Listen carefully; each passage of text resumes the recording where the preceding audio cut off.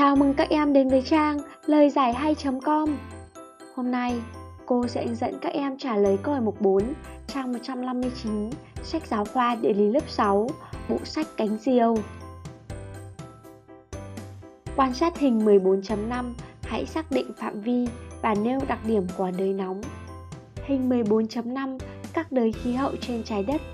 Dựa vào hình, các em có thể dễ dàng nhận thấy đới nóng nằm trong khoảng từ trí tuyến Bắc đến trí tuyến Nam.